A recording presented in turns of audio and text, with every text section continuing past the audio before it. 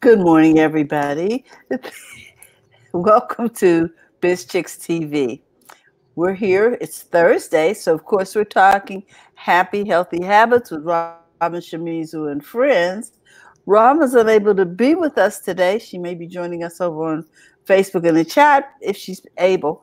But today she has lined up one of her wonderful guests, Cesar Figueroa, is with us today, and he is going to be talking to us about um, one of the things that is is really prevalent uh, today, and that is back pain and how to get rid of it. So, Cesar is a mind and body wellness coach, and he's been with us previously. But I'm going to let him tell you a little bit about himself, and then we're going to get into what to do about back pain. How you mm-hmm. doing this morning? I'm doing really well, Terry. Thank you very much for having me on again. Uh, yeah, and yes, back pain is kind of a nagging injury that I think a lot of, of us suffer through, or you know, it prolongs into like a chronic pain for long periods of time, and we don't really know how to get, say, rid of it or heal it um, mm-hmm. through traditional ways of, of say, medicine or uh, you know, of traditional ways of healing. Usually doctors will send them, send people to like a physical therapist first. They'll do yes. all this stuff, you know. Mm-hmm. doesn't really solve the the problem. Ah. Yeah. But uh, yeah, a little bit about myself. I, I'm a mind and body wellness coach. You know, I started off in the fitness industry 15 years ago, and um, it's evolved to more a holistic approach to uh, happy, helping people get healthier through you know this whole integration of mind body and even soulful work. So um, i'm really excited i'm passionate about what how i take this approach and help people with. Um, i used to be really shy about it or like you know try to just call myself a fitness coach that does something a little different. Uh-huh. but now it's like yeah i'm totally okay with calling myself a wellness coach you know and and really proud of what my little niche is um, as far as how to take that approach to to helping people feel better. Okay, now at some point we're going to want to know how to get in touch with you. we can talk about that later, but don't let me forget because I know after we get all these nuggets today, we're going to probably want to book an appointment, but that's a whole nother story. yeah, and my website's it's up now. My new one is up. Oh, now. good. Yeah. So good. So maybe we'll be able to put that in the chat later. Okay. Cool. cool. Uh, all right. Tell us a little bit about how to approach healing back pain, Cesar. Yeah, yeah. So the first thing is um is I'm gonna break it down into these mind, body, soul, or mind, body, spirit. I'm going to use the words soul, spirit, and energy interchangeably. So just in case people have, you know, some kind of um, history behind those words, or if they feel uncomfortable with using a certain word, I'm just going to interchange between soul, spirit, and energy for that, that piece. But mm-hmm. first, I'll start off with the body, because um, that's kind of how I came into this and is approaching it through just the physical realm or the physical body, right? My back hurts. What do I do about it? Um, doctor says my you know, I have scoliosis or I have a bulging disc and stuff like that. So people don't really know what that means. All they feel is pain all up and down their back. And even most of the times they'll experience sciatica, right? Where they feel it all the way down their leg up down to their feet. Mm. So there's a lot of reasons why this could happen. Um, most of the reasons is uh, that if you look at the the back structurally, right, it has its natural curves, and sometimes one of those vertebrae is pushing up against one of the nerves, one of the spinal nerves that goes up and down your back. And so that it's pushing up against the nerve and it sends the signal that it's painful. It's it's it's not clear, it doesn't have a clear pathway. So therefore wow. that's why we experience pain on the say physical level. Um, so that that said is a lot of us, especially in this country, we're we're overweight and so mm. our bellies are sticking up, and it puts a lot true. of pressure on your back, right? So, ah.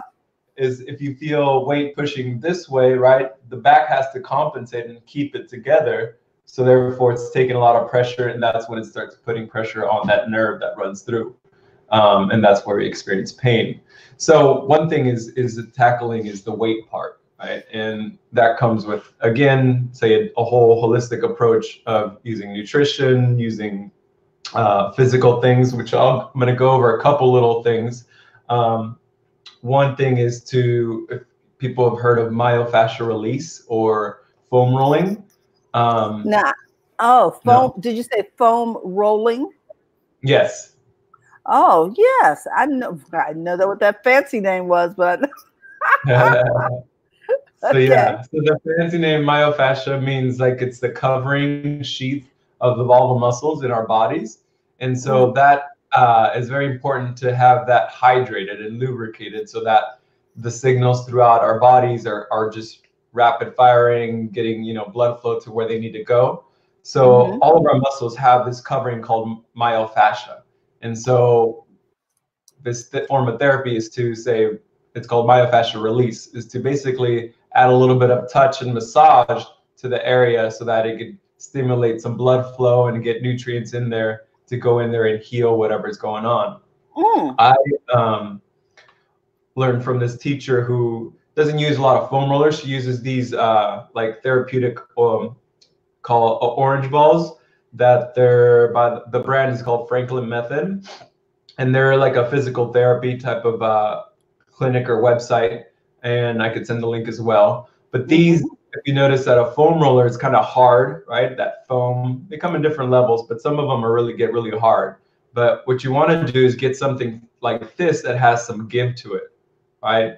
And so that way you want to you want to match, say the the muscle that you're trying to release that's really tight in your back. Mm-hmm. You want to match it with something softer, right? You want muscles to be to have give as well. You don't want muscles to be hard because otherwise the hardness means more stagnation, more um, not, not as fluid, right? It can't move as well. It's like rock solid hard. So we want something to be flexible and have give. So that's what you want to meet it with, something that's flexible and has give as well.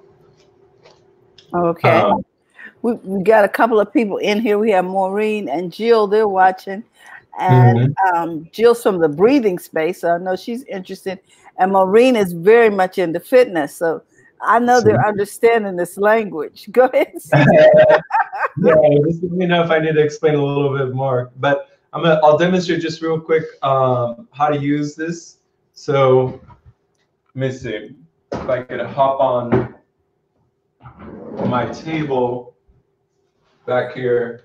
And so all I would do is place the ball underneath, say, the back of my hips. Okay. Okay and then you want to have your knees bent a little bit, and then you put allow the pressure to be on, and you gotta just roll out side to side. Okay, you want to get just deep back here underneath the hips, so it starts releasing everything in the back.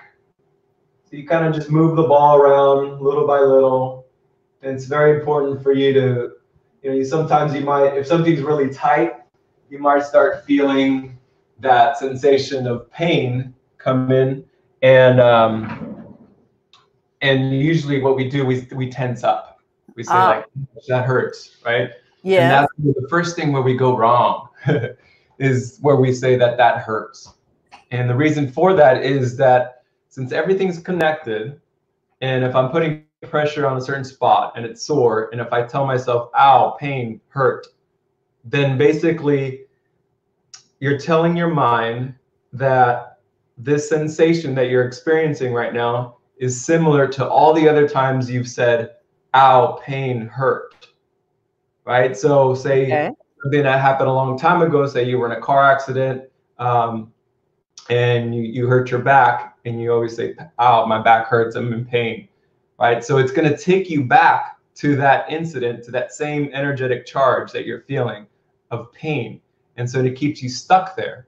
Mm. So, therefore I, I, teach people to start changing their language around using this so saying instead of saying ow that hurts it's painful say the words like oh wow, that's a sensation that's an intense sensation or that's wow that's that's something that really feels i could really feel that a lot so you're just acknowledging the feeling but you're not creating a story behind it.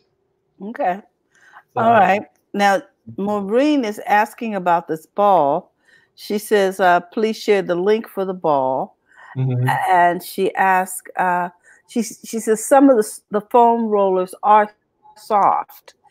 Yeah. Um, I, the ones I've used were not, but then they were at the gym. So no, there, there's different of, of foam rollers, and so I'm not putting foam rollers down, but I, I most mm-hmm. of the that I see at the gym or something, they're really hard. They're pretty hard. yeah, yeah. but they do have. There's a lot more softer ones that they sell. So yeah, foam rollers are good. What's good about the balls is that it's a smaller surface area, meaning it could you could get to little spots better. Ah. Right? Than, than using a foam roller because the foam roller will take over a big area. yes, it will. Right. So, and then they come in different sizes, right? Like I have uh, a couple of those bigger ones, and then I have this like it's called a pill ball.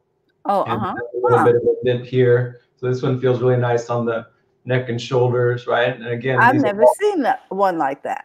Yeah. Okay, so it's called a pill ball. Well, I think this this is what my girlfriend called it. I don't know if it's called a pill. Uh, it kind of looks like a pill, you know. It does look like a pill. yes, it does. Well, well, uh, we have a comment here from Jill. She's saying, yes, that important mind-body memory about pain, noticing the sensation and letting it go, and letting go of that story. So, you know, I guess flipping the script on how we react to things. Is what exactly. what I heard you say. Yes, yes. That's it. That's how I explain it. Am I simplifying it too much? No, I think that's perfect. You know. Okay. The way you said it. Yeah. Okay. So, so yeah, go ahead. Mm-hmm. Uh, no, oh. no. I was going to ask you to go on.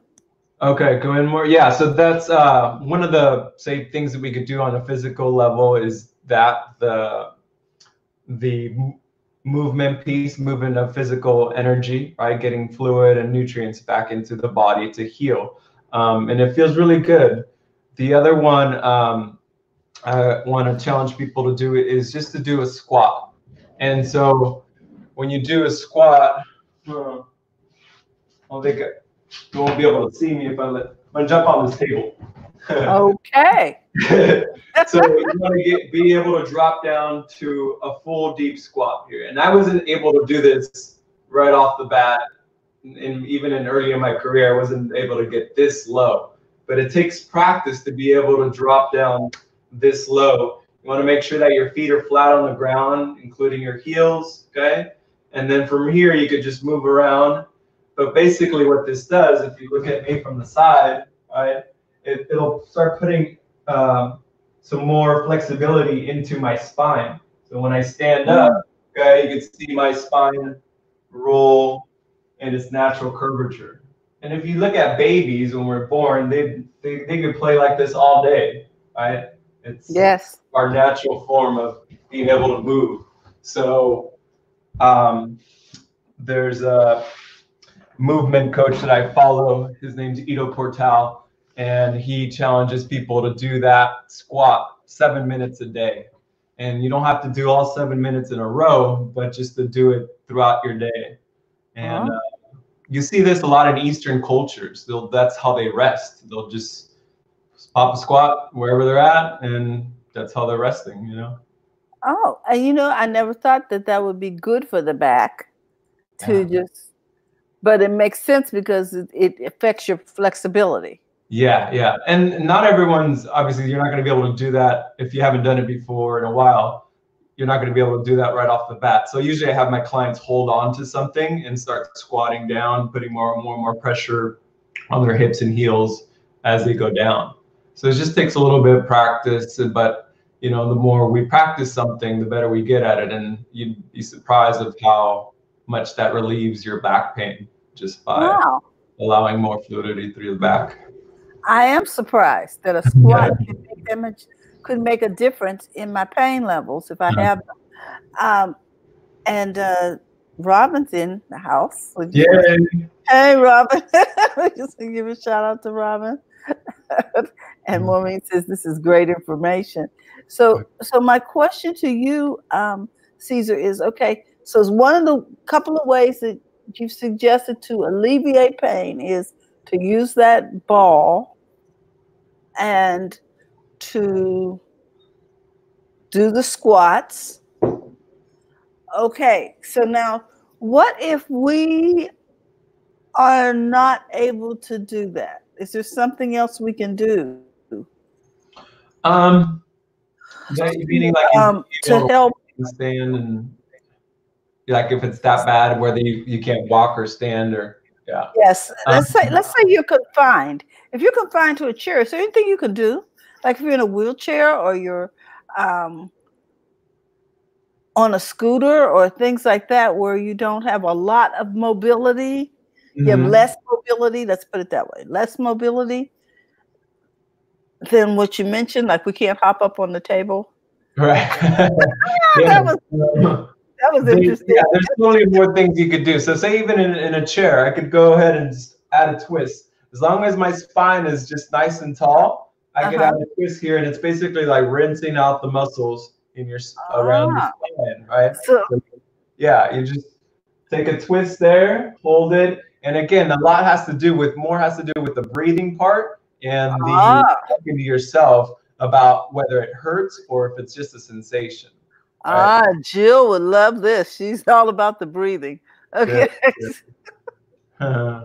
so yeah, so that's one form. Uh, I'm going to get into a little bit more about the, the using the mind piece and okay. uh, the energy piece. All right. So the mind piece is the self-talk, right? Is, is also uh, good. I talk about the mind. These these are all kind of blend in together. So they're not just one thing like I'm gonna only focus on the body, the physical part, I'm gonna only focus on the mind part. They all work synergistically. They all work together to bring healing. Mm-hmm. So um, the mind is the self-talk to telling yourself that it's a sensation, not a pain, not a, you know, um, another term I use is opportunity for growth, right? Like some people, my clients will say, oh, I'm weak or I'm not strong, or, you know, they'll start talking negative about their bodies. And I say to them, use, oh, that means that you have an opportunity for growth in that area. So recently my client said that it was that's too long of a phrase to remember and she made it down to an OFG. So I say OFG, you know, opportunity for growth. Oh, so okay. Start changing your language.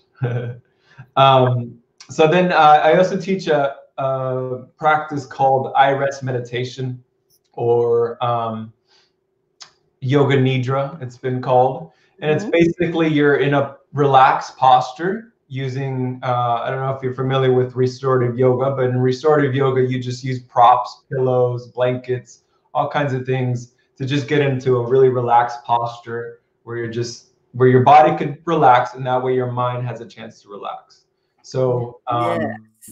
You take that approach. So you get the body relaxed in a nice, comfortable posture and then I guide people through uh, a meditation and basically goes through different centers of the body and say like relax your hand, relax your thumb, you know, and through, throughout the whole body. By the end of the meditation, you just you go into a state of uh, between wakefulness and sleeping, and we call that the uh, theta brainwave state or even the alpha brainwave state. Mm-hmm. And I think I mentioned it last time, but this is the area where we can reprogram our mind ah. we're in the theta or the alpha brainwave states. Um, from the ages of zero to seven, we live in the theta states. And we're just taking in all this information of how to react and how to be in our world from the age of zero to seven. And we're in we're we're operating in this theta brainwave state. So after that, we start operating more uh, when we wake up uh, to the beta, right? So right now we're talking in beta. And um, that's why I'm such a huge proponent of the first couple hours upon waking to not digest or not put any outside information uh, from the world to you because you're you're very vulnerable in those first couple hours upon waking and also the first the last couple hours upon sleeping um, because this we our bodies naturally start um, well they, they go from say the sleeping state and then they go into the theta, and then they go into the alpha, and then finally into the beta, which we're conscious and we're talking normally, right? So that's so uh, crucial. So it sounds like because we're in a state of drowsiness, we have to be a little more aware? Well, yeah, you got to be aware of like what's around you during that state, right? If I if I wake up and I turn on the news, all that news, even though I'm not really paying attention to it, I know some people like put on the news just to have it in the background. Mm-hmm. We're still receiving that information, especially since we're in that theta or alpha brainwave states. That that information is just coming through with no filter, right? And it's kind of reaffirming our beliefs in our mind. So that's why it's so crucial when um, or that's why I teach iRest meditation is because we get a chance to reprogram our mind with positive messages saying mm. like I, I guide people through like all right now feel as if your body's really healthy you have no more back pain uh, you are walking you know with a strut and confidence you know so i basically help people conjure up those feelings within them that's telling the mind that everything's okay. And if it's not okay, let's go in there, send those signals to go ahead and correct it and fix it and alleviate this problem that this person has. Oh, wow. Well, we got some comments over here. Oh, great. And uh, um, Robin wanted to know, she says, interesting. Do you squat and stay squatted or go up and down? She's saying. Yeah, you, you stay know, squatted. Table, yeah. This comment came through, but I didn't think it was timely since you were up in the air at the top. Go ahead. no, no, it's not good. Yeah, the uh, you definitely want to stay in the squat for as long as you can. You know, like um, again with practice, you stay be able to stay longer and longer.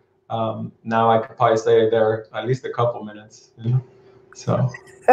okay, yeah. and then um, Robin saying, "Yay, Jill." and Yoga Nidra too. Um, Jill does um, Yoga Nidra also. Uh-huh. She was excited about the fact that uh, nice to meet another Yoga Nidra mm-hmm. practitioner. Yeah, it, it, did so much for me. Um, it was I started taking a class on Friday evenings mm-hmm. at a yoga studio, and uh, what yoga did for me, it was a movement piece that helped me just focus on one thing, right? And then I found out there's this type of yoga, yoga nidra, which is called, it literally translates to yogic sleep, but you're not, technically you're not sleeping, right? You're in that drowsy state. Mm-hmm. Um, and it just helped me so much for my whole week, right? I would go every Friday night and it would just be my little thing where I could just relax and rest. And the only thing that really helped me calm, ease my nervous system, and I wouldn't be so anxious. So you know, if it did so much for me, I, I that's basically what I do is like I learn something and then I teach it. You know, learn it, teach it. If it helps me, if it's going to help someone else. So, yeah. Okay. Well, well, Jill says uh, rest is great for PTSD also. Mm-hmm. And I know that when we went to her studio, she um, had us use blankets and pillows. Mm-hmm. So when you mentioned that, I said, oh, so that's what we were doing. yeah, you're doing restorative type of yoga. Yeah. Yes, restorative stuff. How interesting. Uh, because, you know, all I know is it was very relaxing. Good, good. Uh, and it was it was a wonderful experience. So, guys, you know, if you're looking for uh, something to re- relax the mind and the body, that that was a winner. I would check out the breathing space and check in with Cesar and see what's yeah, going on. I teach a class every Friday afternoons uh, during that lunch hour, like 12:30 to 1:30, mm-hmm. at a studio called Delta Mind Body Center. And so, uh, where is that located? Um, it's located downtown on 10th Street, uh, between okay. between U and T. Is, uh, Got you. So if, if you are a state worker, yeah, state worker, yeah. you might want to check out Cesar, particularly if you have something that you want to work on. Yeah, exactly. We have a variety of classes there, uh, different teachers. We're, we're all independent contractors there. So we rent out our space, bring in our own people or um, to teach out of there. So it works out well. Um, but yeah, lastly, before we get off, I, I want to talk a little bit more about the energetic piece. And again, okay. that all these kind of intertwine, they're not just one thing. Um, and so last time I was on here, I talked, I tried to talk a little bit about energy, but it's such a like, it's a concept that we still really don't fully understand. Mm. And it's really challenging to communicate that through uh, to other people. Um, so again, playing on this thing of um, using the brainwave states, right? Mm-hmm. And uh, when you're in that brainwave state, the drowsiness state, you're a lot, um, say, we want to call it more fluid, right? We're more permeable to information. So with the energy, ah. piece, yeah, with the energy piece, um, you want to think about everything being a form of energy. And I think last time I said we're, we're all basically swimming in the same pool. So if we were swimming in a pool or deeply submerged in a pool, every there's you think of the water as energy, right? And everything around us is energy. And then our bodies or even ourselves and everything we see in our physical reality starts condensing down into, you know, smaller, tighter packets of energy, of information. And that's how we can see things and touch things and feel like they're physical, right? Even though they're made from pure energy if we look at it from a, a microscopic electronic level, that you know you go deeper and deeper and deeper, go to the tiniest molecules, all you see is little things, molecules of energy vibrating. It's nothing solid. So you want to think of our bodies and our realities as condensed packets of information, condensed packets of light.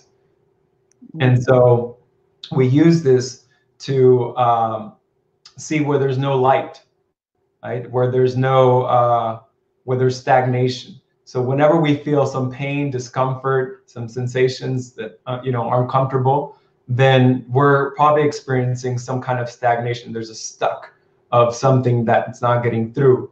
Particularly with back pain, um, we're not receiving, uh, say, a breath. So my practice that I study says that we exhale and express through the front of the body. And then in the back of the body, we inhale and receive. So it's a cycle of exhaling and inhaling, exhaling and inhaling. And if we have back pain, right, it might be because we're not inhaling enough or we're exhaling too much, right? So there's there's a you got to play with what the body's telling you, um, and how my practice works is I go into people's wrists and I listen to their pulses. And then the pulse, it tells me where that stuck might be. And the texture or the quality of the pulse, whether it be frantic or whether it be relaxed or whether it be hard, it'll tell me, okay, this is where the stuck, this is kind of what the person is experiencing. Go into these flows to relieve and cause more flow, or sorry, to relieve tension and cause more flow, more cycle of breath throughout the body. Okay. Which brings, which brings I get it, which brings us back to breathing. You're saying that that um, different forms of pain are the result of something being blocked. Yes. And usually that has to do evidently with oxygen because we're talking about breathing. Mm-hmm. So as we free up space to, or let me phrase it another way. As we unblock these things, then the airflow makes it easier for us in terms of flexibility or the release of pain or what? Makes it for the release of pain. It's, and it's it's not literally airflow, it's a uh, energy, right? So even though yeah. we can't see it, right, it's still there's a flow to our body. Yeah. Um, in my practice, it, it uses touch and the feeling of the pulses. So mm-hmm. in the pulses is where uh, we feel that energy and the quality of that energy. So you know, energies might be really hard and stagnant, or some energies might be nice, you know, uh, fluffy and with like a nice rhythmic tone to it. And so um, it's just be, being able to become aware of what state that you're in, acknowledging that state, whether uh-huh. it be a frantic state or whether it be a panic state. Um, and then uh, you go in there to relieve and, and say that everything's okay, right? Again, everything's a sensation.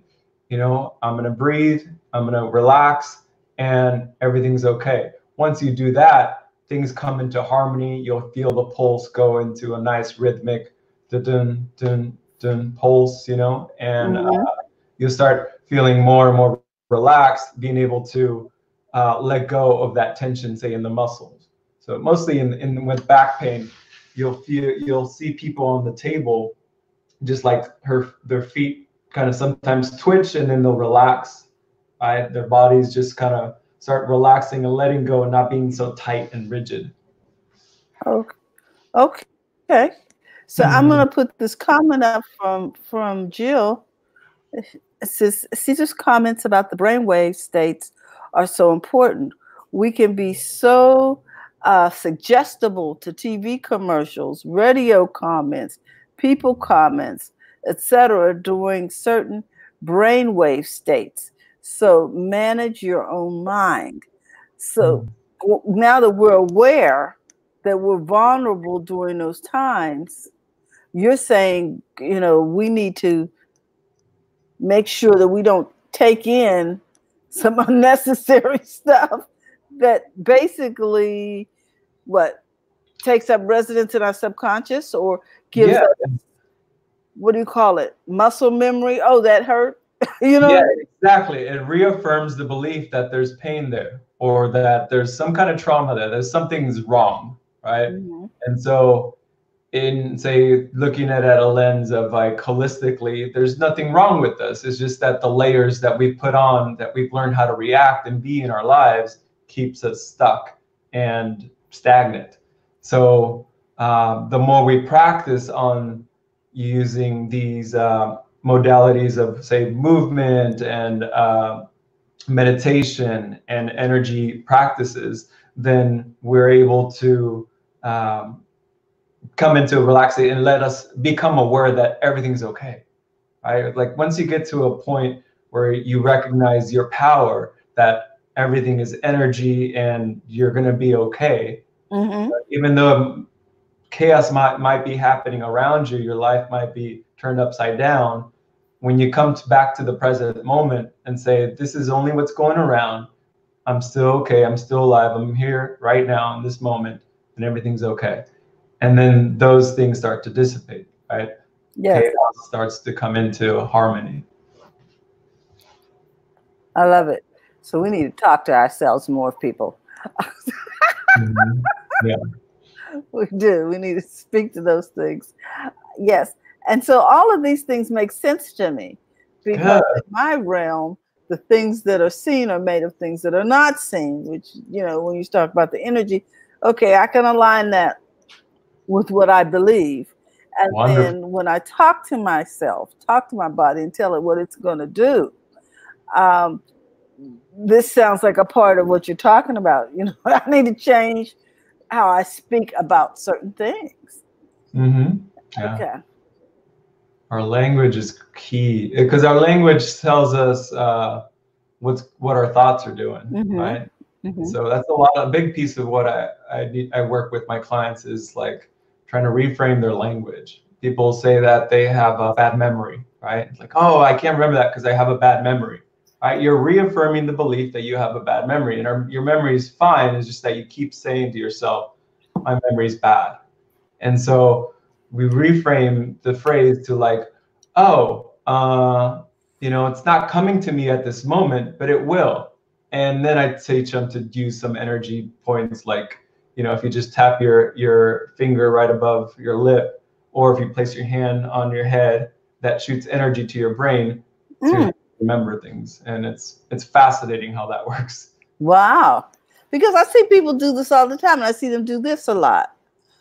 Oh, interesting. So that's why that's why I love the practice of that I study uh, with Jin Shin Jyutsu because it's called the body's innate wisdom. We already do these things to help us harmonize our bodies. And mm-hmm. so now uh, I teach it so that you can be more aware and be able to use it right away.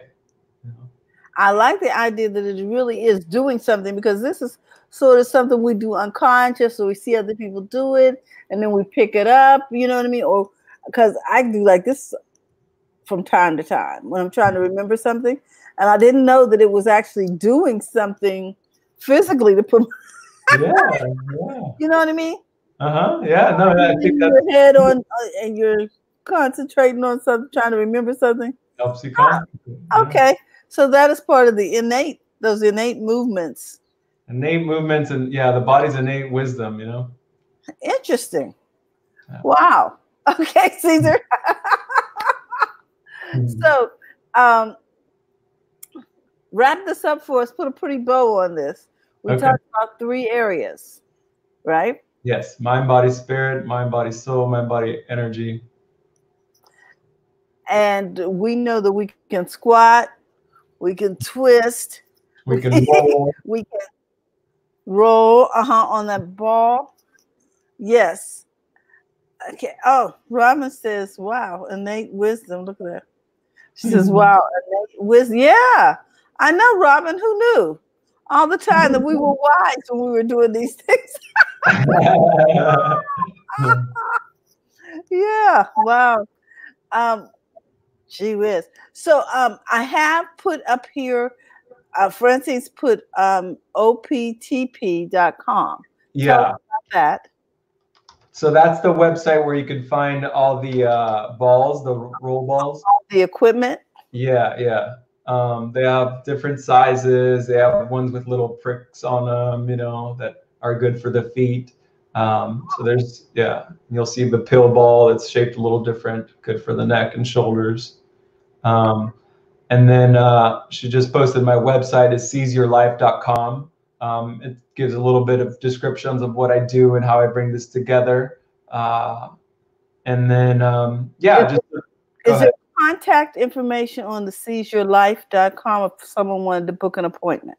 Yeah, please do. Yeah. Or okay. um, my phone number is directly on there. You might right. email address and all that. Yeah. So, guys, if you're looking to to uh, connect with Cesar, you can do, can do that through his his website.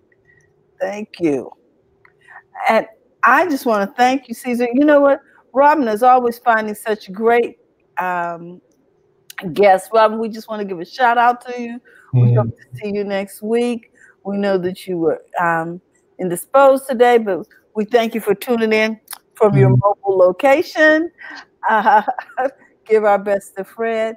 We want to thank Francine, who is producing the show in the background for us. She is my partner. This Francine Gregory, real estate entrepreneur and tech diva. And and I want to remind everybody that there is a Woman Like Me event coming up soon. You'd want to go check that out. You see, the uh, website is posted. We hope that you'll join us for that event. We're going to be there, the BizChicks. Also, we just want to say thank you to Cesar. Cesar, that demonstration was amazing. table was in the room. and I will be trying to no, I will be squatting more. Yay! You're already changing your language. Good. I good, will be squatting more. At least once a day, okay? Yeah. Which is an improvement from zero. Yeah. okay. Um, do you have anything you want to add before we go, Cesar? Uh, not that I could uh, comes to mind. You know, it's like if someone wants to take this approach, uh, I think uh, more and more people are becoming to take on this approach. It's more holistic. It's a bigger, you know, thing. It's not just looking at the physical component of our bodies. Um, mm-hmm. So yeah, just call me up or you know message me through these uh, social media pages or my website. Fantastic. We want to thank Jill for joining us from the breathing space and Maureen and all of you who are watching on the replay. We want to say thank you. And don't forget, to go to the front of your own line. We'll see you tomorrow. It'll be talking tech in English. Bye-bye. Bye.